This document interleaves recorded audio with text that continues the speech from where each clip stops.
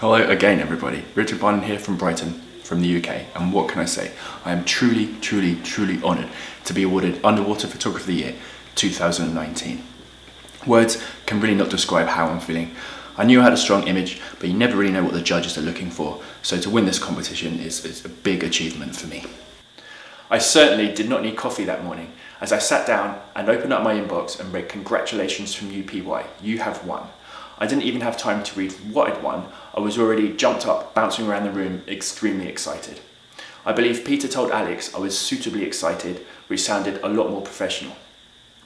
This award really means so much to me and could not be possible without the constant support of my family, friends and amazing dive team at Unique Dive Expeditions. Photographing behaviour underwater has been the driving force behind learning underwater photography for me. To be able to capture that rare or unique behaviour, something that may have taken you years to learn in one precise moment, and being able to share that knowledge and experience with others through that image. Fakarava is famous for its wall of 700 sharks by day. At night, these sharks begin to hunt, and the gauntlet is about to begin.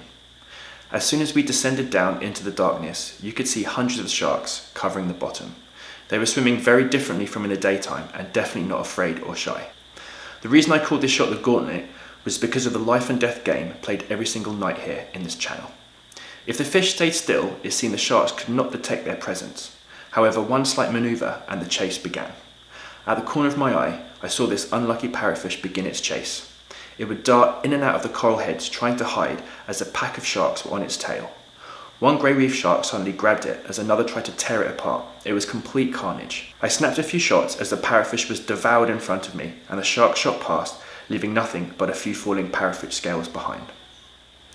I would just like to finish by saying thank you and congratulations to everyone involved in this year's Underwater Photography of the Year competition 2019. And I sincerely hope I get the opportunity to see you all next year. Thank you very much.